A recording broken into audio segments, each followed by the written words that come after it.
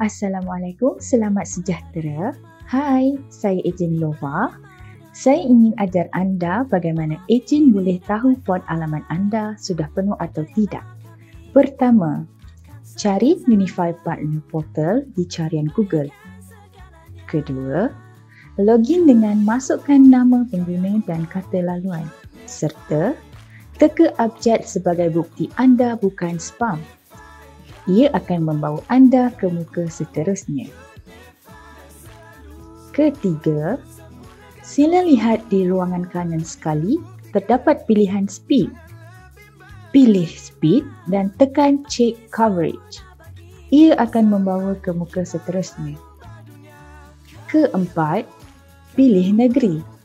Jangan sentuh langsung street type, street name, building name letak kata kunci alamat anda di search keyword. Jika anda letak keyword yang umum, pencarian akan tidak tepat kerana hanya maksimum 1024 alamat sahaja akan muncul dalam pencarian satu kata kunci dalam satu muka. Contoh, negeri Selangor, kata kunci Ampang. Lihat, ada peringatan di sini mengatakan maksimum 1024 alamat sahaja boleh muncul dalam satu muka pencarian ini. Kenapa ini berlaku? Cuba anda search Ampang di carian Google. Sila lihat beberapa sebenarnya jumlah keputusan carian Ampang. Tapi, kenapa hanya 10 keputusan sahaja keluar? Ini kerana jika kesemua hasil pencarian untuk kata kunci itu keluar, agak-agak anda berapa lama Google ambil masa untuk munculkan semua hasil carian tersebut dalam satu muka? Lama kan? Silap-silap satu hari baru siap. Begitu juga dengan situasi pencarian di Unify Partner Portal. Jadi, kata kunci harus guna nama jalan atau nama kondominium atau apartmen atau nama yang unik dan ganjil.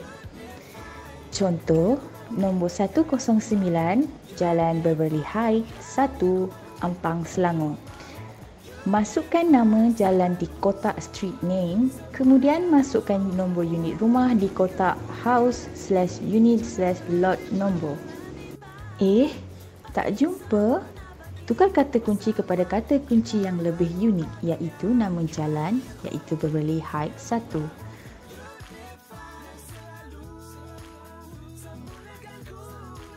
Lihat, kan jumpa sekarang?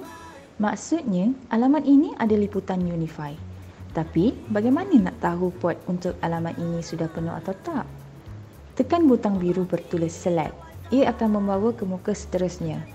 Sekiranya simbol hijau, maksudnya port alamat tersebut masih available dan boleh proses order. Sekiranya simbol merah, maksudnya port alamat tersebut sudah tidak available, mungkin kerana beberapa sebab. Sebab pertama adalah port penuh.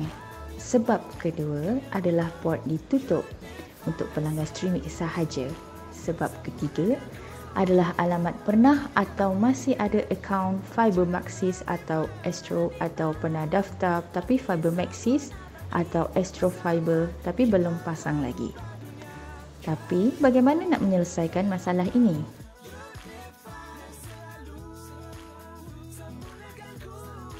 Kita jumpa di episod seterusnya. Terima kasih. Jumpa lagi.